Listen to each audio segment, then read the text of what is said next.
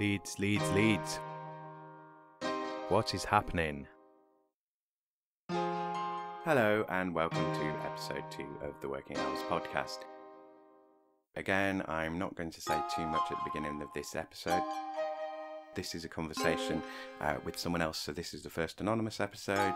Um, so a bit of an experiment on that front. And uh, yes, I imagine a few of these will be anonymous episodes. Some of them will be named episodes. It really depends on the content and who I'm speaking to. So I'm trying to keep these anonymous in some cases. I mean, obviously that's difficult these days, but just to kind of protect people at a basic level. So anyway, you may hear some uh, occasions where the sound sort of drops out. Um, it's not a fault with your player or anything like that. It's just me cutting out bits of information. Anyway, hope you enjoyed the show, and I will be back at the end again. Right. Okay. Yeah. We'll make a start then. Okay, move So- all the way around there. Have you any idea what the hell I'm gonna do? No. What, what the hell this is? No, No, no one does. no. I do tell people and then they instantly forget. Yeah, so um, but I thought the best way to do it was to not prepare. I've I've got a habit of preparing for things if I know about them, Yeah. so it's better to not. Something I think. Yeah, well, I, I want to use the. I, I mean, I, I don't know if I should be using a set bunch of questions or anything for these yet. So, um, I'm basically practicing at the moment and just listening to what comes out and seeing sort of. I think my theory is try and find what's interesting, see if there's a regular thing that people talk about, but Yeah. I might just have to start putting some questions together and make it a bit more ordered. But I'm going to see how these go. So I've got uh, like about three or four hours of recordings now to work through. So um, I haven't got the book here, so I can't show you the book. Okay. But it's based on this book that I've mentioned to you before, um, uh, by a guy called Studs Terkel. I always get his name wrong. Yeah. um, and he just interviewed a bunch of people and asked them what they did and just to talk about work, how they felt about it, what what they were doing, just their general opinions on it. Yeah. So they're all together as sort of anecdotal stories. So I'm guessing he, you know, I mean, he was a he was a journalist, so I would imagine they were interviews that he kind of whittled down and sort of edited into a narrative rather than just a straightforward "this is what this person said" or wrote or whatever. Um, but I I just want to get people talking about work Mhm. um, and not just sort of the day to day like nine to five or whatever, but also outside of work, other stuff that you do. Um, you know, extracurricular activities can be work, especially in a you know, like if you have to golf for your job or something like that. I mean, that's part of your work, isn't it? uh, so, um, what are you currently doing for work then? Okay. So I I am in what you might call like a portfolio worker in a way, in the, in as much as I've got, I've moved from like a f- totally freelance life, um, to one that has a few employers in inverted commas. Um, and I've not traditionally been very comfortable working under an employer, Mm. but I now have three employers. Um, but work for me is like the majority of it is working as a tutor, Mhm. but on a zero hours contract essentially. Right. Um, and that is. Do you want me to talk a bit about that one, or just tell you the whole process? Yeah, you can do. I mean, at the moment, my plan with these recordings um, is that I'm I'm not going to publish anything Yeah. yet, and I'm not going to publish anything without running it by people first of what what they've said, because like not only sort of protecting people's information, but also protecting employers potentially and so on. So I don't know, you know, if I have to blank stuff out. I mean, feel like you can talk freely, but we can always take stuff yeah, out. yeah, no, I will. I Yeah, I will totally. So, so the yeah the job is a um is running a course called, and now the is traditionally it's a conservatoire and it's like very old fashioned. I mean, Mhm. it says it in the name, and it's like it has it's thrived on this idea of excellence and a kind of elitist form of excellence in very specific things, be it like m- musical instrument playing or acting. Mm. Um, and it has essentially survived on on a name and reputation without a huge amount of scrutiny into its methods. Um, and a lot of, I mean, a lot of who's who of acting, like Hollywood actors, English ones, Mm. you know, you can trace back. A lot of them have gone through that sort of system, and then, but this course is different in that it is, um, it's meant to be for cross arts practitioners, um, and headphones stop working. Cross arts practitioners. Oh no.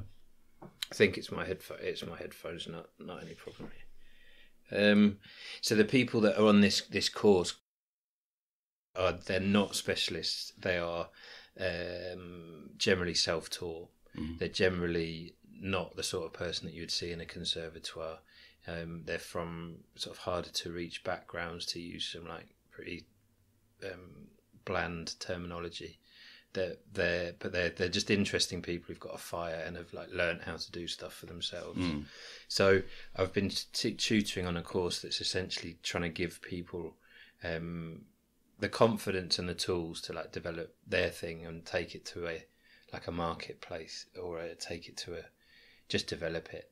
But Yeah. it's it's it's quite confused as a philosophy. Um, there's there's a, there's a lot of problems involved with like having a course like that at a conservatoire.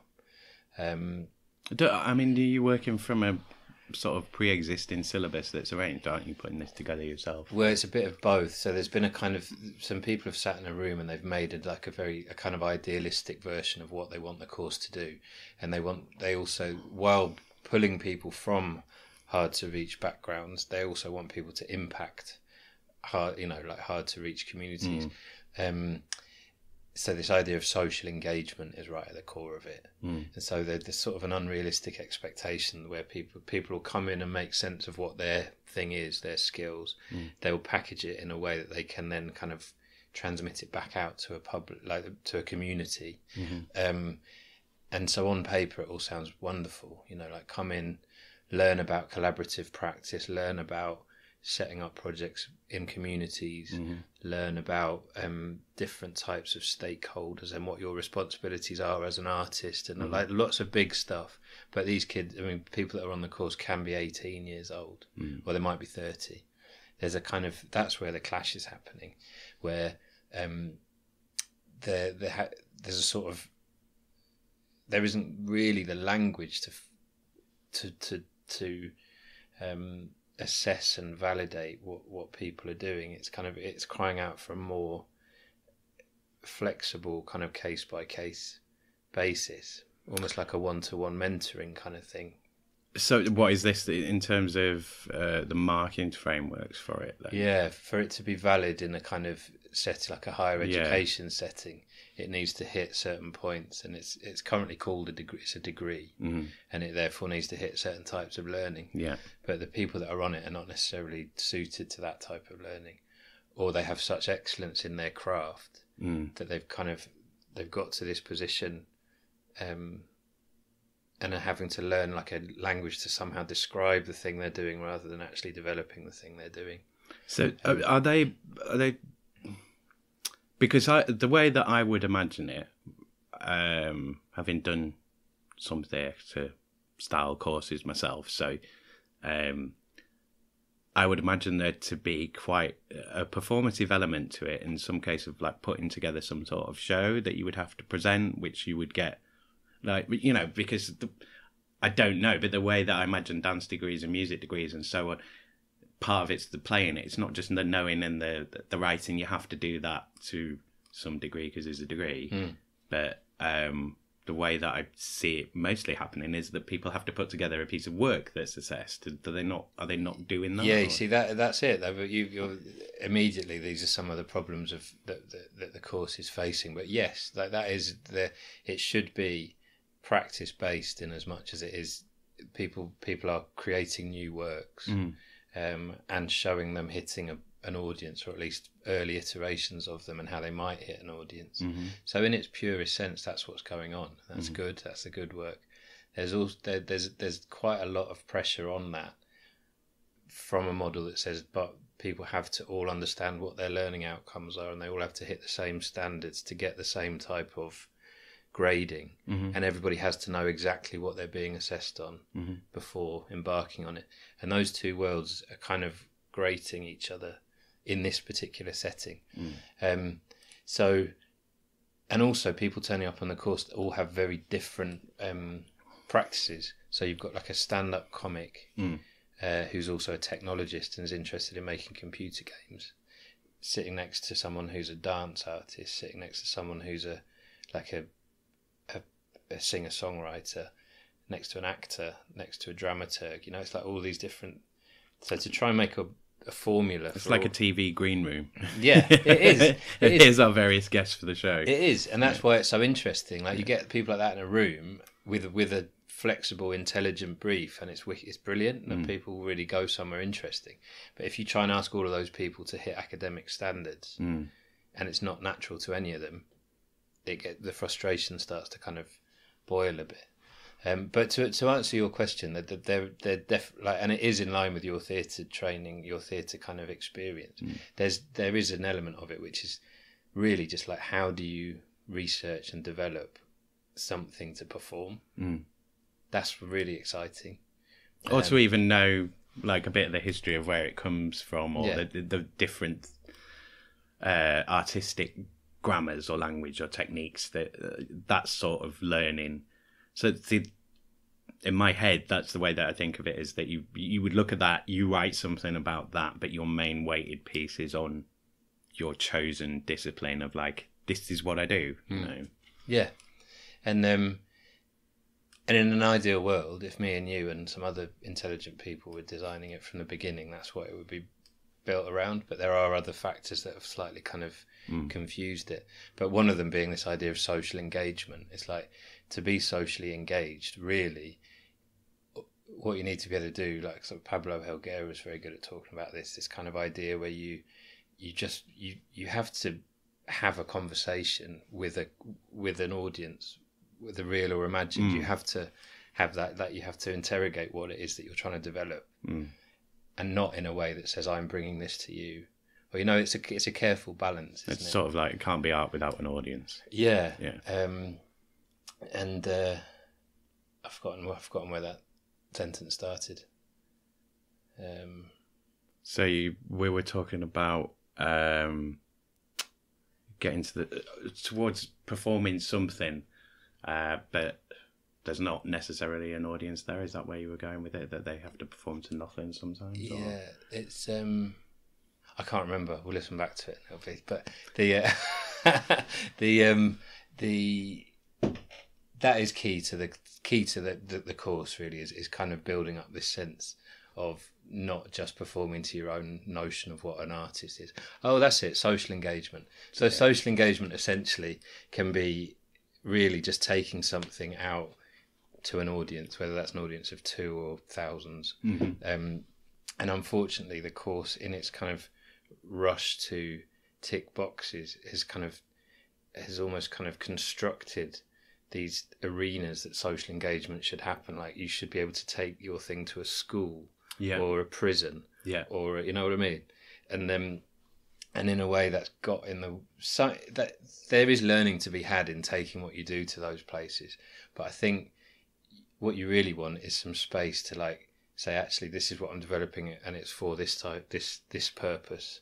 Okay, It's a- but how much yeah. of that social engagement is really sort of?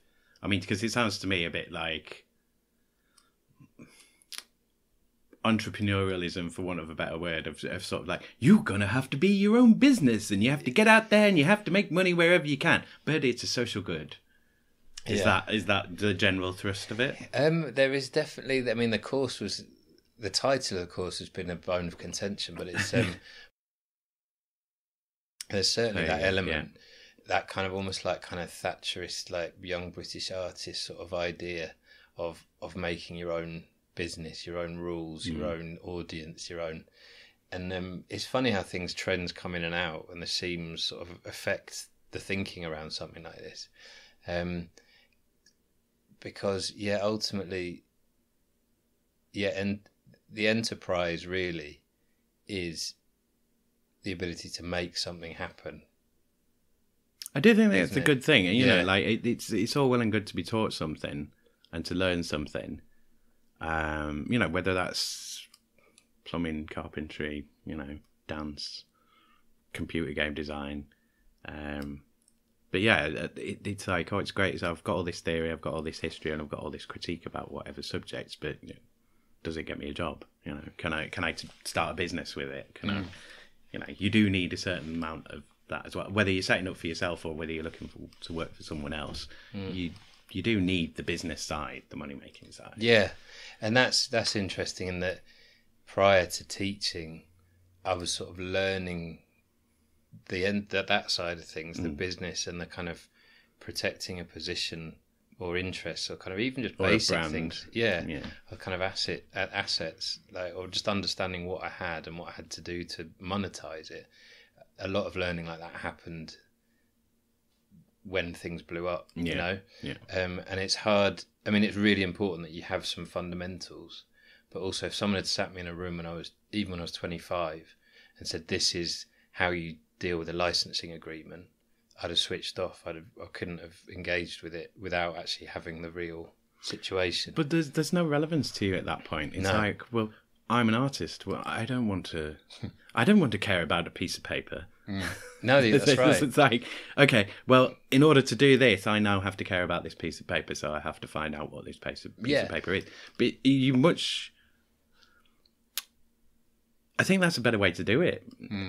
because it's sort of crossing the bridge when you come to it, but also, um, you know, if you learn about that piece of paper, I mean, it's good to have that bit of knowledge in your head. But if you spend ages learning on it, and you you know, it's, it's five years before you encounter the need for that bit of paper, that information is useless to you at that point. You know, it's been useless to you then for the previous five years, and even when you need it, it's now useless to you because it was too long ago. You've forgotten it. Yeah, and then and that's where kind of like an educational philosophy comes into it. It's like, do you think, like a lot of the people that I've since read about, that the best possible way to learn about something is to take current experience and explore it, mm. or do you think the best way to learn about it is to is to be given a kind of menu of things that that is transmitted to you, for, like teacher to student? Mm. And I really, really like deeply believe it's the for, it's the you need a, a live context or you need some points of reference to, to re- reality.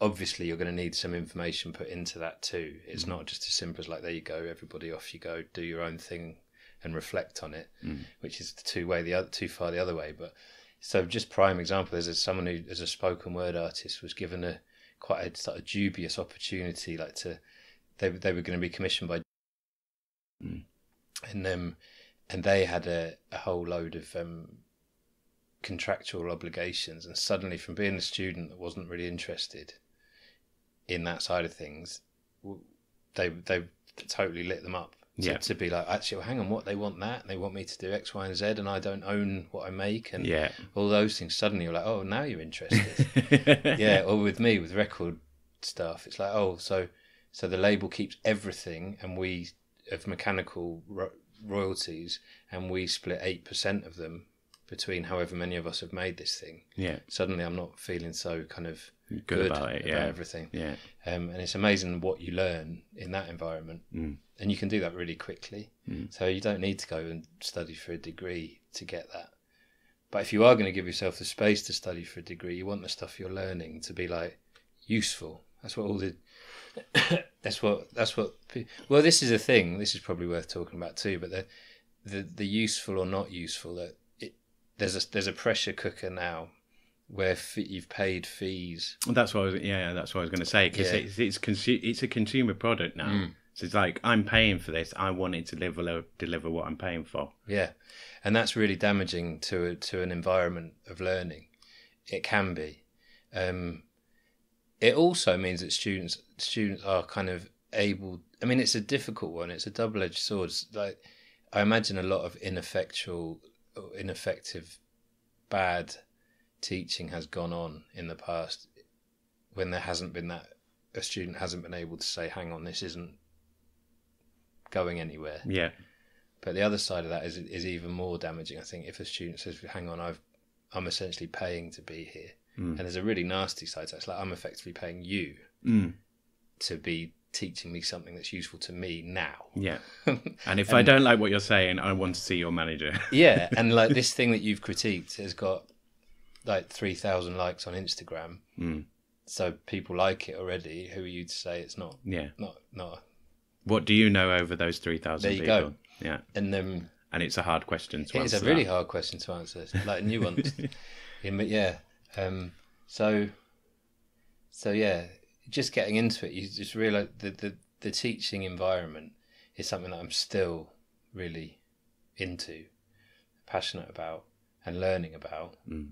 And it, but it's becoming increasingly more complex, and I just really feel and empathise with the with with people in there in a kind of student role, because it's really complicated Mm. for them, even more so, and it's quite kind of quite important to to fall back on on on or to reflect on what I was like as a teenager and the confusions I had. Mm. That's so important, um, because yeah, because the, the world is really complex at the moment, and the and the outcomes are not guaranteed in any way.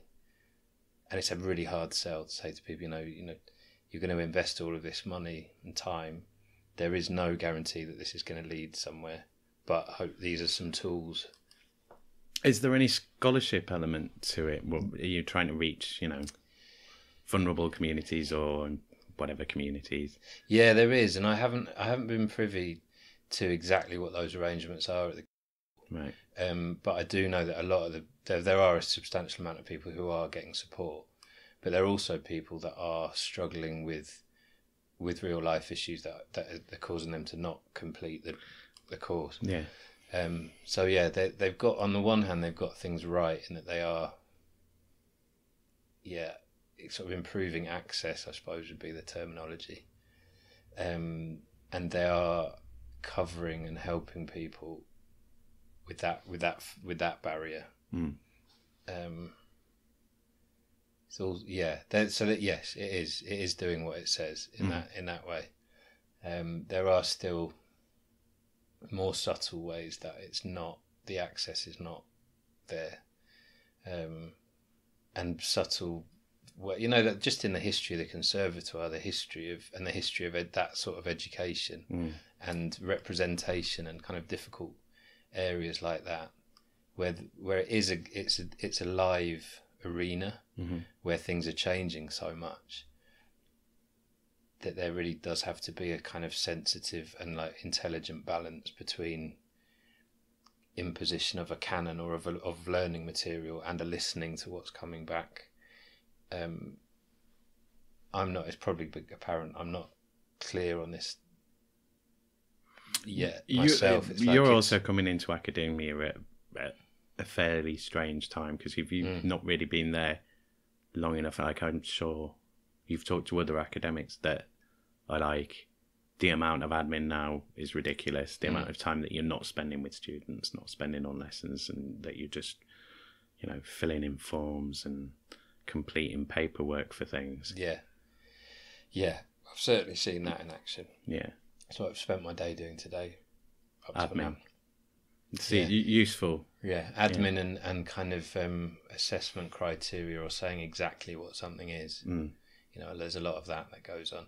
And really that goes against what I was saying earlier, the, the kind of philosophy of like experiential learning, but, but, but deep, deep, Dewey like, deep rooted research, committed experiential learning. Mm. That doesn't translate very well to like forms that you have to fill in and say exactly what's going to happen. It's always going to be a balancing act, isn't it? Because Mm. you, you you're trying to please a lot of constituencies because you've got people who, you know, they're buying an education as a product. Mm. You've got the needs to deliver something because to them as well, you know, they want they want access to the equipment Mhm. that that they would have at university. They want access to the the networking. Mhm. They want access uh, to to the knowledge, I suppose, and the training. Um, I forgot where I was going with this, but it was it, basically they're they're buying certain things. Oh yeah, so they're they're buying a degree brand as well, aren't they? They Yeah. you know it's like okay, so I'm getting all the stuff in the area that I'm interested in, and I also get brand degree as well. So I'm now, Definitely, you know. I've I've ticked off that boxes. So Mm. it's it's a shorthand way of going right. Well, I've done my artistic thing and I've done something in academic as well. Yeah. Yeah, and there is an element of that, and it's kind of it's difficult to talk without big sweeping generalizations. But there are there are kids coming through, young people coming through who are there in a way to kind of like you say get the get the name, get the degree title, Mm. and really they they're not they're not synthesizing or melding exactly what they're doing outside or in the real world context with what they're doing in, in the in the institution. And I think if the course was running in its purest form, it would be a, it would be a conversation both ways. Mm. Um, and it does work like that sometimes. There have been some real successes, but there is an element. There are still some people who are in there, and it, you sense a family pressure somewhere in the background or an expectation, whether it be first generation university kind of Yeah, study. yeah, first person to or- go and yeah. Yeah, um, and that's a very real thing. It's like um, it's understandable, and some people would probably wouldn't be there without that Mm. pressure. Um, so yeah, um, it's co- it's really complex, and this how it's um, it's opening up almost opening up Pandora's box of like possibilities Mm.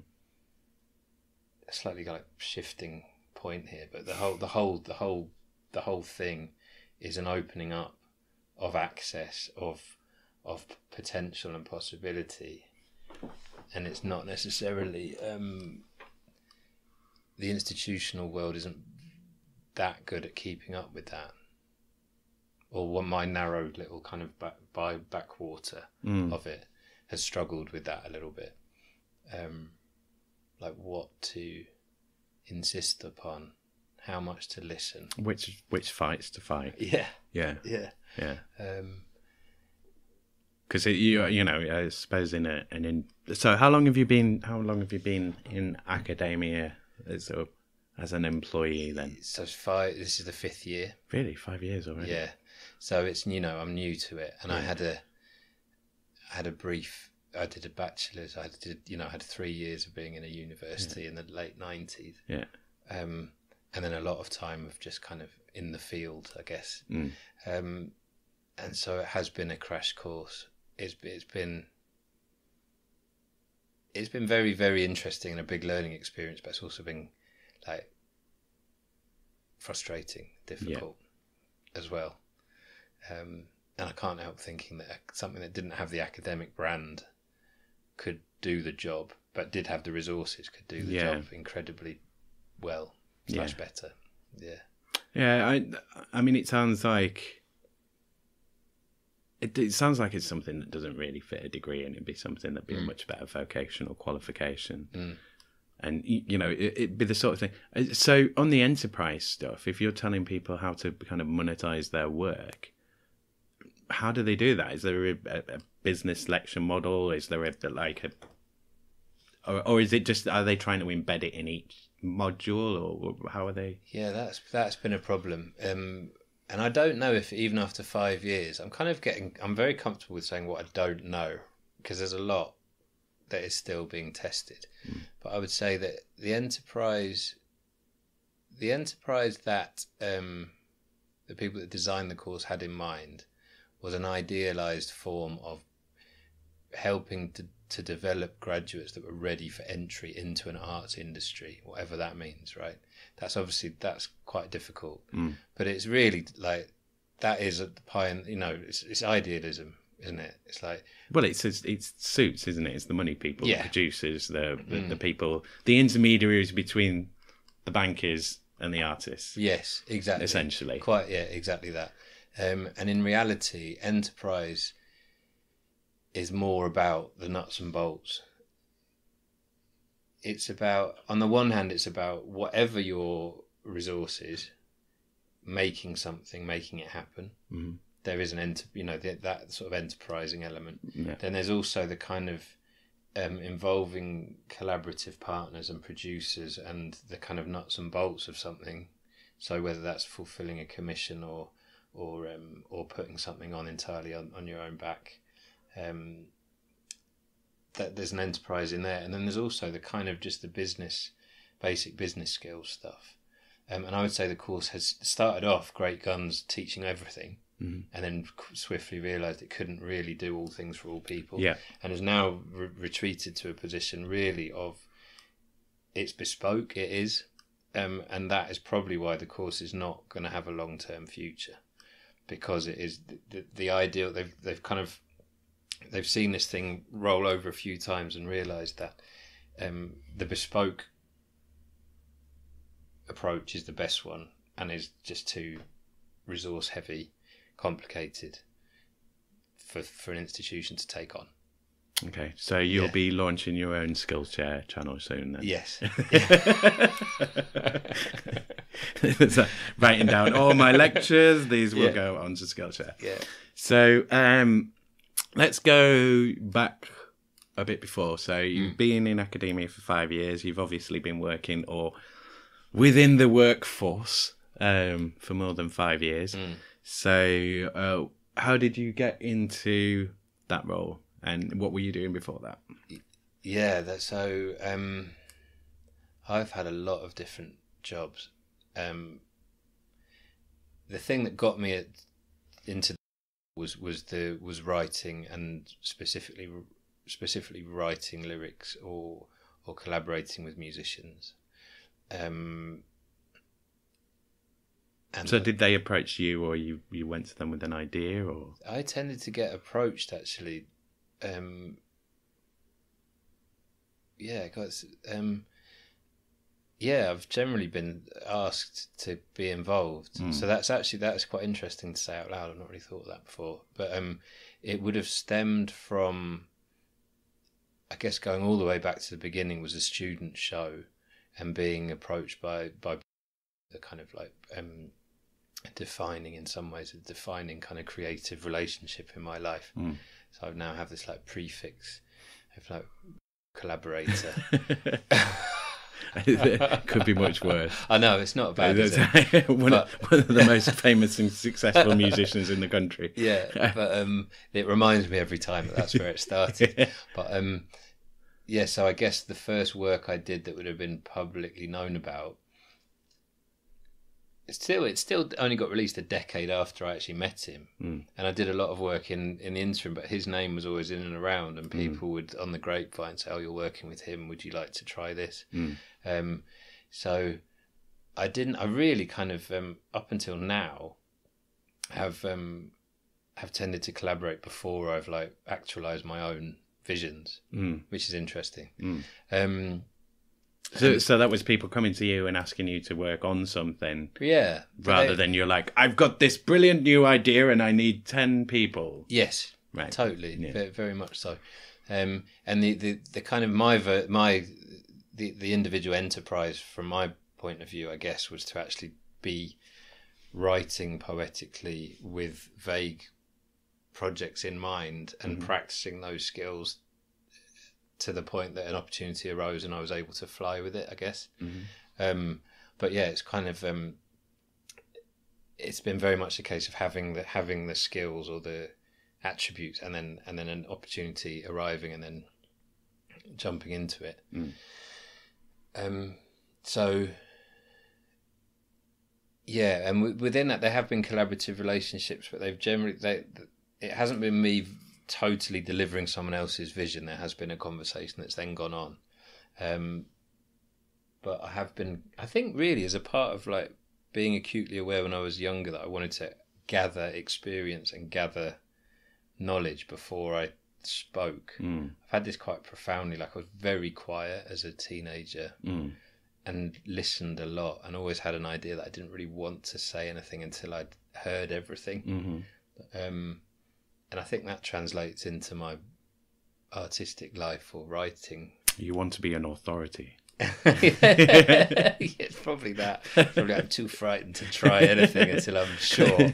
I am now certain about this and I will tell you how it works. Yeah, I'll give you. I'll just reflect back, bravely reflect. no, but I think it's a word. It's I think it's a good position. You know, Mm. like you know, don't don't act, think. yeah, exactly. But the the world currently probably needs more people that that It needs some of those people think- that have been thinking to get off their bums and act. yeah, there you go. And it needs some of the people that have been acting to sit down and have a think. Exactly. Suck on a strepsil and stop stop talking for a while. have a Rennie and sit down. Um, so yeah, that that was the that was the the the main job in loads of different um, loads of different kind of iterations. Like writing poetry turned into collaborating with musicians, but then turned into like dramaturgy work with a contemporary dance company, or like Mm. there were lots of sort of um, different avenues it went down. Um, so quite shapeshiftery. And you spent quite a bit of time in London. Yeah, I moved to London straight from uni Yeah. and stayed. And you were there through a lot of the sort of all the spoken word people coming through there. You know, it was kind of like a group, a, a cohort of people, wasn't it? That kind of got Kate Tempest and yeah, uh, Polar Bear and Beans on Toast and people like that that sort of come. They all kind of kind of knew each other and yeah, there's definitely that going on. Um, and I probably arrived in London before that started Yeah. developing, or, or before it had any confidence anyway. Um, but that happened while I was there, certainly, yeah. So Kate Tempest would have started rapping at Real Deal or whatever, the record shop, Carnaby Street Way. And then I didn't really. Um, So you would have you would have been ahead of them. Were, were you doing Yeah, think- were you doing performance poetry then at no, the time? well, no, this is it. I was, I wasn't really.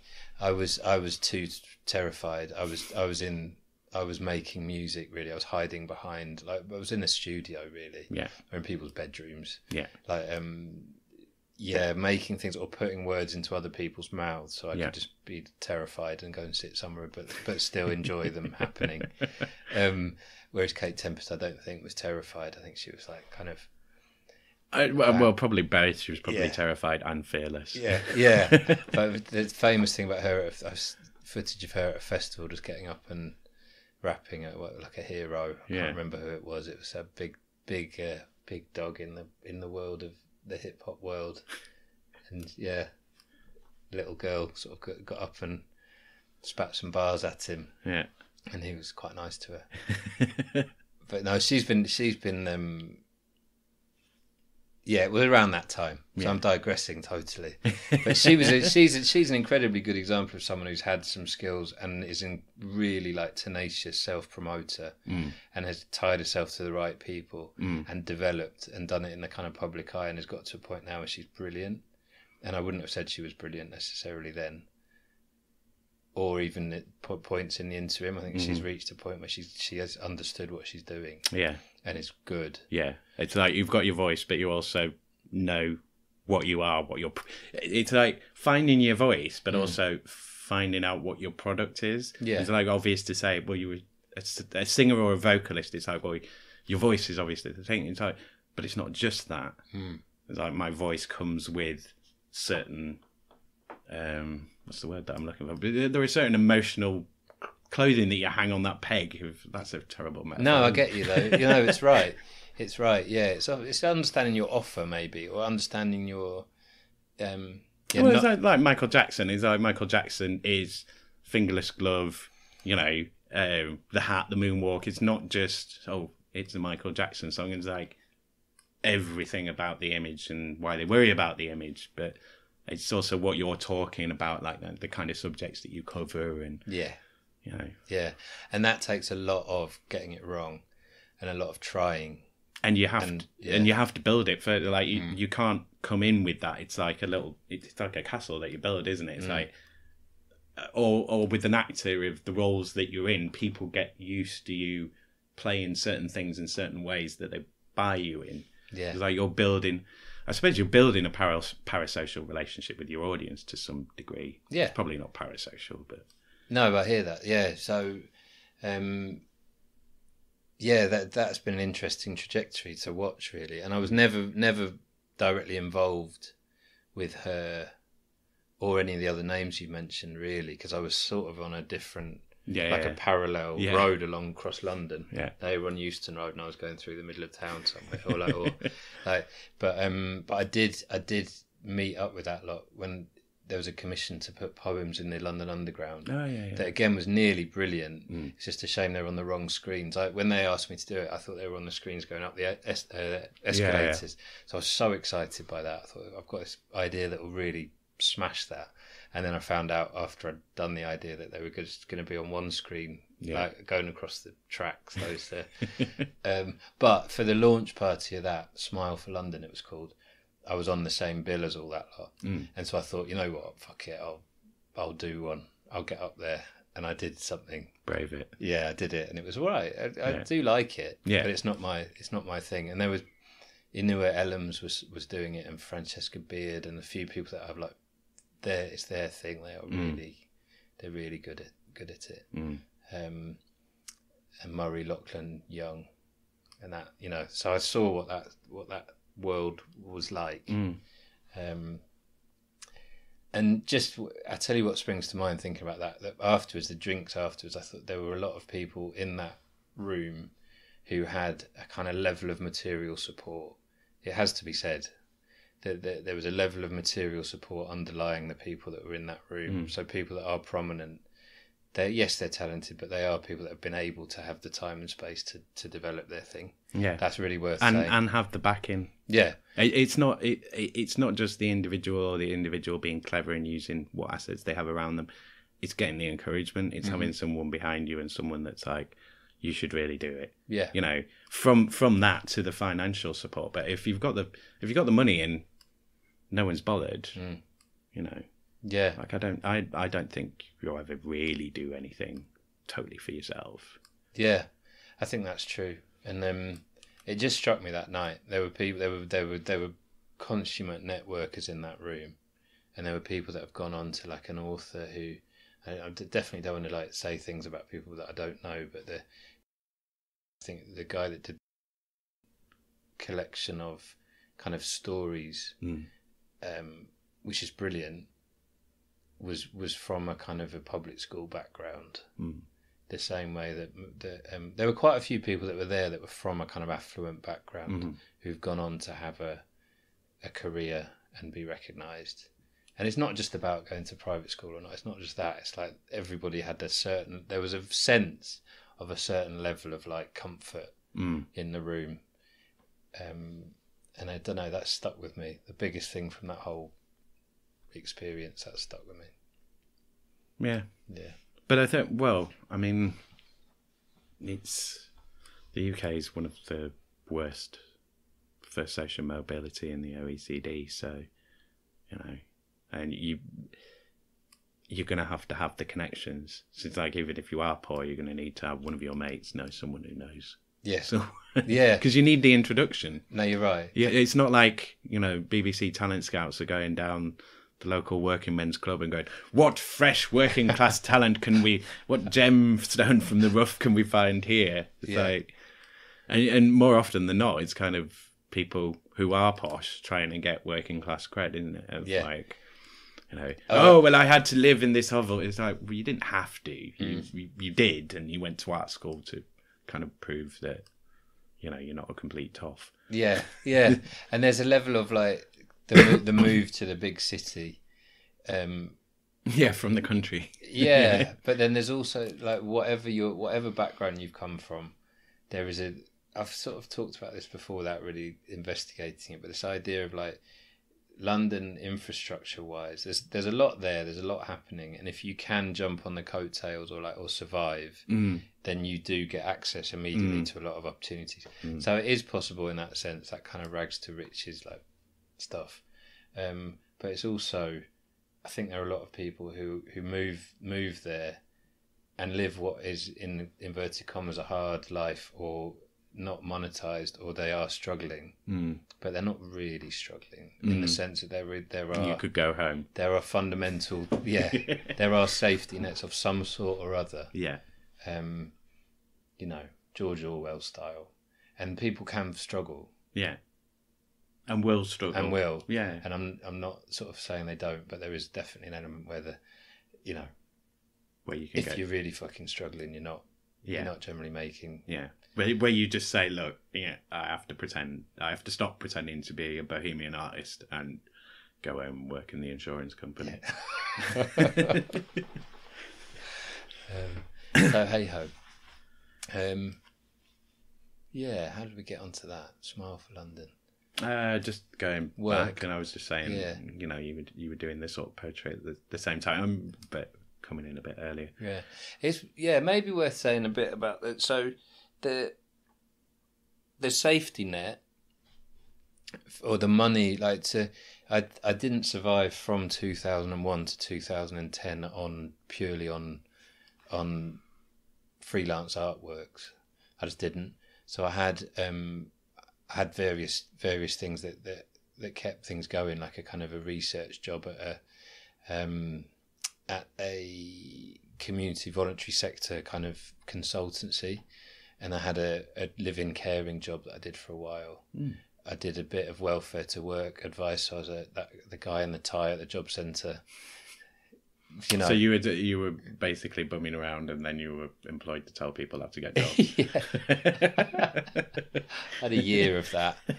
Um, meeting brilliant people, but also that was like private sector led sort of Yeah. new deal. I can't remember what it was called at the time, but it was essentially all that like welfare to work, bullying people back to work. Yeah. But I just would, wouldn't buy and into that. and the statistics were that, that people on those schemes actually perform worse than people finding work for themselves. yeah, so they would go on to work because they were being bullied into it, and so their person, their advisor, would get their twenty-eight grand a year, and the company would get all of its money, but then they'd fall out of work again because essentially they'd been pushed into something that wasn't yeah, for them. sustainable. Mm. But uh, yeah, that's a nice little the, the that policy in a like microcosm, isn't it? Like, um, but I had a great time in a way, a hellish time for a year.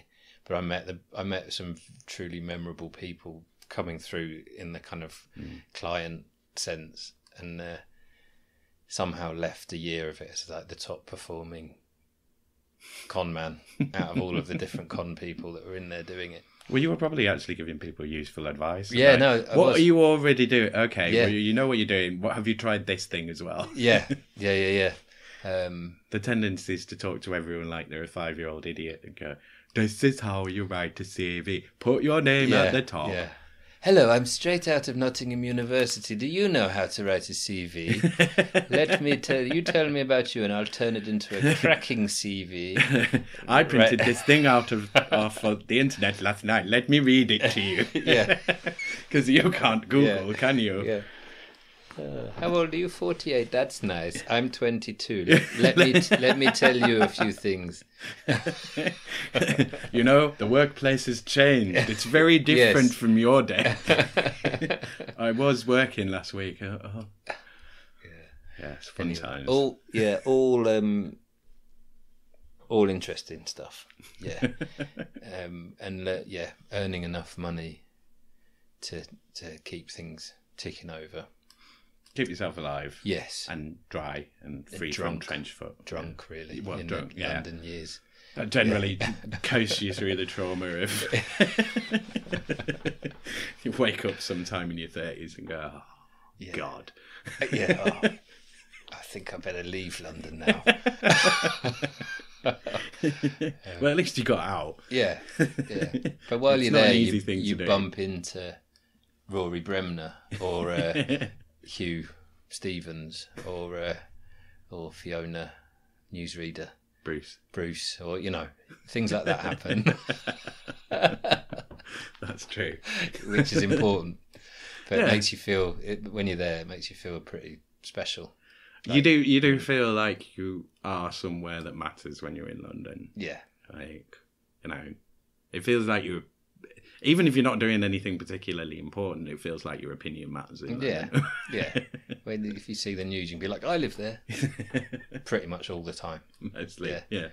Um, Well, there, there, there isn't anything outside London. no, um, We're, we're not actually anywhere. We're just no, we don't exist. No, no, no. The, yeah, the, the map runs out. There's a train line, isn't there? Anything outside the M25 doesn't Yeah. exist. Um, London's awesome as well, though.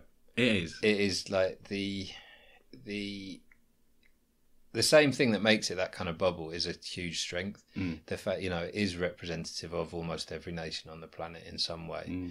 There are it is an experiment that isn't replicated in many other places in the world Mm. currently in terms of the level of that kind of integration's the wrong word it's come it's too loaded isn't it but Mm. like that, that sort of like living alongside fellow human beings There isn't another every, city every in the country, even in Europe, that's like it. no so that is that is a i mean it is an incredible energy i love going back there i Mm. love it um and i miss the london i remember i just miss the london i remember there you go again it's like you sort of own it don't you when you're there You do, I- you do. I own I- this place Well, uh, my my theory is, um, you know, you've been anywhere seven years, you're supposed to replace all your, your cells in your body after That's seven right, years. yeah.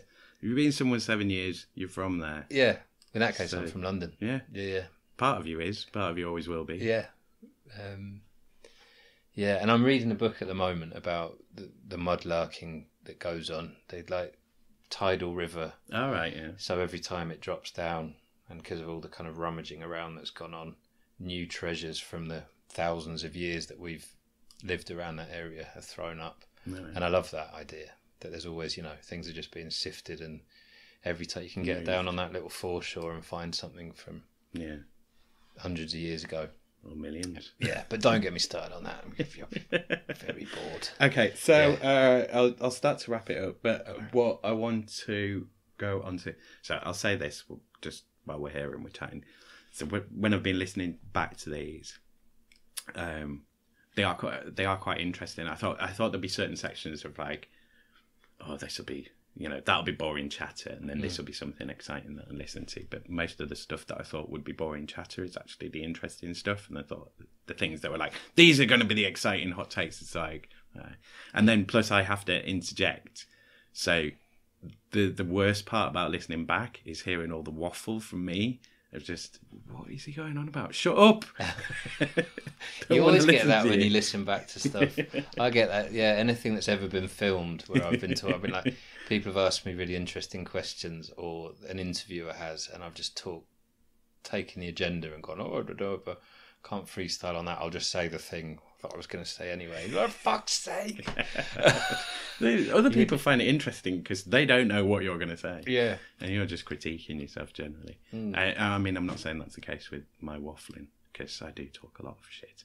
Um, but yeah, so I, I want to kind of cover the future of work. Yeah. So in a you know UBI, Universal Basic Income, Universal Basic Services, fully automated communism, or you know non-stop Amazon dystopian death fascism, barcodes on everyone. Like where where where do you see work going in the future? Yeah, it's such a good question. It's just the key question. That's what I seem to come back to whenever I have time to think. Well, we'll drop it in since it's you know it's around election time. So Yeah. we've got a Corbyn proposal. Well, not Corbyn assessed, but in a journalistic speak, but the Labour Party with their four day week, so thirty two hour week.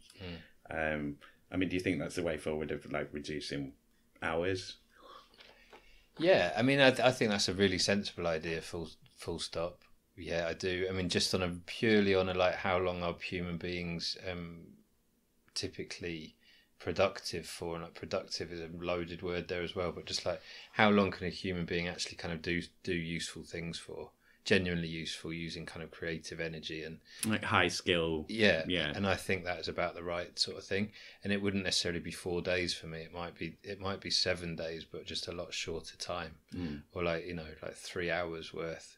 That doesn't the math doesn't work there. I realise, but like I do feel like that there's there's something there that is just on a practical level solely is is is right. Yeah. Like people are going to be more productive, and I think he's being ridiculed for that. But like why? I've got no idea. People are going to be more productive in that time. It's not a case of It's time versus um, money now. It doesn't feel like that. Those links have just been eroded to the point that it's it's not even there. Yeah. Yeah. Yeah, it's a very weird thing. It's, it's, it's all based on, uh, you, you know, I think for me, a lot of that media profile is that they've got, it's like the thing of everybody knows what normal is, but nobody thinks they're it. Of the, the press have, they have their imagined Britain, you know, they have their imagined guy on the number 47 bus or whatever it Mm. is, and, you know, Mondeo man or whatever rubbish they make up. but in their heads, it's like, no, all we care about is you know working our fingers to our bones.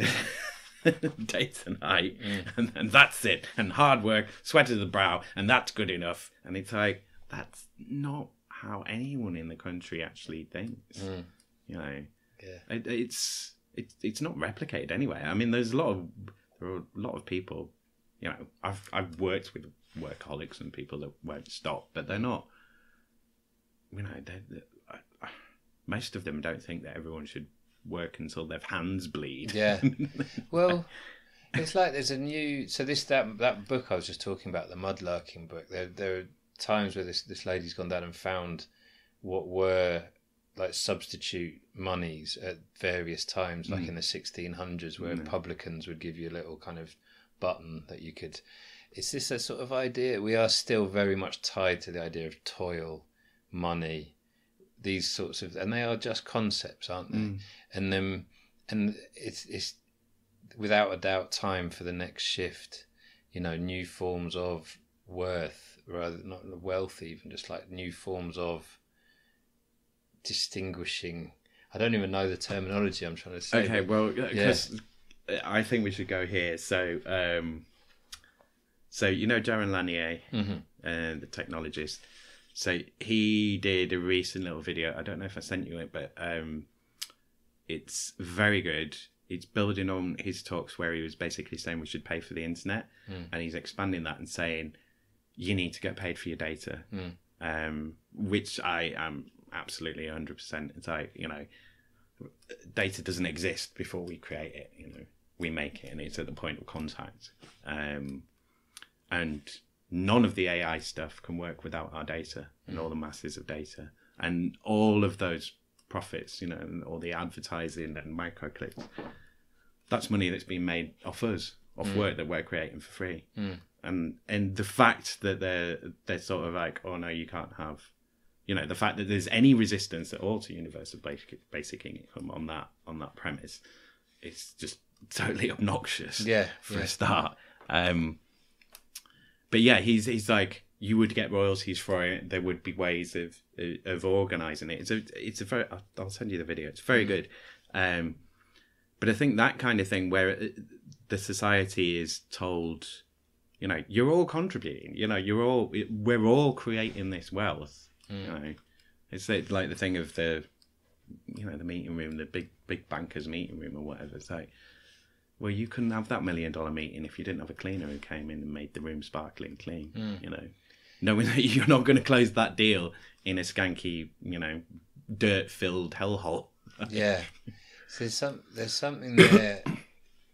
I totally agree with all of that. Um, and this sort of need to counter the just the siphoning and it's the just ridiculous and ludicrous levels that it's getting to now of the of the kind of the the top of those pyramids or the, the, the where where all of the resource floods to. Yeah, and the music industry felt it very much with streaming and and um, and the you know people can have a million streams of a song yeah, and not make any money from it Yeah. essentially like the artist. But the thing so yeah there's a lot there's thinking to be done around that. Universal basic income has to be a good idea. But then the thing that runs alongside it is this kind of like social currency for me. It's like um almost like a bartering economy back to it or a, or a sharing economy a skill sharing in a local or community sense. And like we're having seen a few places around the world there are there are definitely places where that exists more than others. So new zealand struck me when i was there as a good example of that. If somebody has a pig and they butcher the pig and they'll share cuts of the pig with somebody hmm. else who has a on that sort of level or they will make an engine that they have in their car hmm. run through uh, sharing knowledge and understanding and, and just like keeping things going like patching them up and work. There, there's something about that that is like um especially with the the climate crisis as it exists and this idea of just getting back to not getting bigger and better all of the time and not obsessing about wealth money as wealth but seeing wealth as skills and links um I think it- I think there was quite a number done on us. Like, well, especially for myself, as you look back at, um, especially all the you know the Thatcherite Reaganite deregulation and all the the, uh, like the the toys and stuff that we're all nostalgic about and go mad for. If I we were programmed by television, you know, we're not, our parents are told to leave us in front of the TV. The TV tells us to buy all of these things, and we nag our parents to buy the things, and we train them into like only buy brands, throw everything away. You don't need it. You know, we were the ones that that created a lot of this mentality. My generation, at least, that know, that's the way that I see it. Um, where was I going with this? Yeah, and and and a lot of that alienation and atomization is, is already built into that is assumed. I remember when i when i got my first house it was almost a point of pride that i didn't answer the, you know if anyone knocked on the door i wouldn't answer the door. It's like well i'm not gonna it's my own house i don't need to answer the door and i'm not gonna hide from them or anything. I'm just ignore them and like but why? I mean most of the time because it's someone who wants something but you know how are you going to meet your neighbours or be neighbourly or make new contacts or anything like that? Um, without without that kind of interaction? You know, like how and I should be more engaged in in various social networks in my community just naturally, but I think I'm not because I'm sort of like well other people, you know, and dealing with the social aspects of it, but the rewards are really great. But you you have to make that effort, and in my mind, it's this the whole sort of bothering someone. No one wants to be bothered. I don't want to be bothered. Yeah. leave me alone, and everyone. That's deeply ingrained in us, isn't it? This idea that we have to be self-sufficient beings on some level. Well, completely Yeah. autonomous, and that you shouldn't be. You know, don't disturb don't disturb that Yeah. man or that lady Yeah. or. Um, and it get exactly, and it gets to chronic, it gets to illness levels where people are lonely Yeah, and sitting next to people on the bus and and feeling too anxious to say anything. yeah, And um, I think everybody feels that on on some level, but there there is a the the the um, optimistic or the hopeful counter to that, which does sound like kind of crying in the dark a little bit, but is genuinely optimistic. I think is an idea that that is flourishing again, and people are starting to to think of or realize that they're that we're not we're not we're we're animals that that are meant to be in communities, and we're and we are. Um, that's where our value lies. Well, we- even within cities, I think I think you know exactly right. But I think within cities that we we developed this, and part of it is part of it is is like in, political control through fear and, and and fear of the other, and to be self-contained, and you can only meet people in nice, expensive coffee mm. houses or somewhere somewhere where you'll spend money. yeah, yeah, it is at that level. like, don't Yeah. go meet someone in the library. Mm. Come to a nice, you know, mm. sit down with your sourdough bread and you make it yourself, a sandwich kit or whatever. And uh, yeah, don't d- only speak to people within these these certain circumstances. I was going to say something else then. Um, I can't remember. This is normally at the point No, where I start to wind it. You know, that's yeah, fine. Go on, go on. But that is that is a, definitely a thing. It's this sort of, the control is so pervasive. Um, the, the the very idea of what is a public space or what is an area that you're allowed to commune with people Mm. has been affected. And like you say, it's like if you want to socialize, you have you feel a need to go to a coffee shop, or you Mm. want you don't you don't necessarily go and sit on a bench in the middle of town Yeah, because that has a connotation. You know, you only go there if you're down and out, or you go there if you know. or even even joining a book club or a knitting Mm. circle or something like that. There's like yeah, there's generally the yeah. assumption it's, it's like you'll see it with older generations of like we'll put on tea and coffee and there'll be some fairy cakes that someone's made you know Mm. like a, a wi meeting or something where like people make the jam and you turn up but most of the other things is like oh well we're going to hold this meeting it's going to be in this bar or in this restaurant which uh, there's a tacit assumption of like you have to buy something Yeah. you know even if it's just a coffee or you know have a glass of water but it, it's always sort of if you're not spending money you're not doing anything important Yeah, that is so. That is really pervasive, isn't Mm. it? Um, and worth kind of like critiquing, like kind of becoming aware of, and like actively resisting.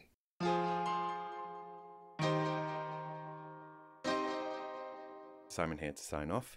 Firstly, value extraction. Please, please, please like, share, and subscribe to the podcast however you're listening. Uh, the more you support, the more I can get done. I've said please three times, so you have to do it now. Also, ch ch ch ch ch change, please.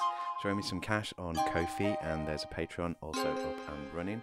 Details will be on the website. I don't have a proper WordPress uh, domain website address at the moment, so you can find the website link in the show notes. To be on the show, either anonymously or if you want to promote yourself or your work, please get in touch via Twitter. Uh, Twitter handle is at Western Studios 2, and you can DM me there. It also has the website link shown in the profile. Uh, that's it for now. New episodes will drop as soon as possible. Hope everyone stays safe and calm and looks after each other. And um, yeah, best of luck to all of us.